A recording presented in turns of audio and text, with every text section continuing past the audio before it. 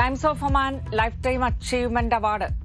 Shri Sathyasai Gramam global trust founder K N Anandkumar ഏറ്റുവാങ്ങി ഒമാനിലെ അൽഖുറം സിറ്റിയിൽ നടന്ന ചടങ്ങിലാണ് പുരസ്കാരം സമ്മാനിച്ചത്. സാമൂഹ്യ സേവന രംഗത്തും ജീവകാരുണ്യ മേഖലയിൽ നൽകിയ സംഭാവനയ്ക്കാണ് പുരസ്കാരം.